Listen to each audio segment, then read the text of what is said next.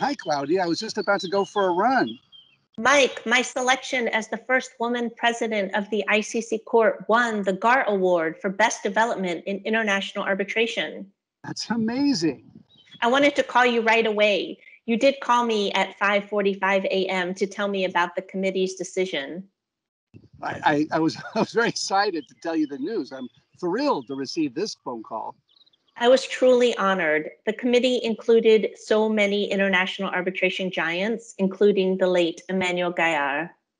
Well, we needed the firepower, you know, considering the incredible candidates, including many women, and also the importance of the selection in this moment of change around the world. It's also a testament to Alexis Mourre, who, as president, had the audacity to insist on gender parity of the ICC court and establish a fully transparent process for the selection of his successor.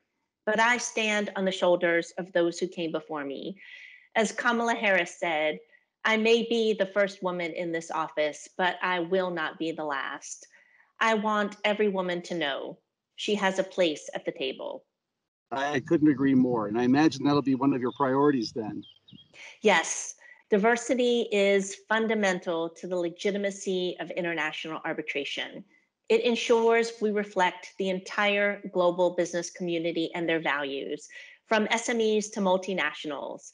We want ICC to be seen as their essential partner to help get them out of a crisis and back to business. Let me thank Global Arbitration Review and everyone who voted. I will work to ensure that ICC lives up to its reputation as the leading international arbitral institution.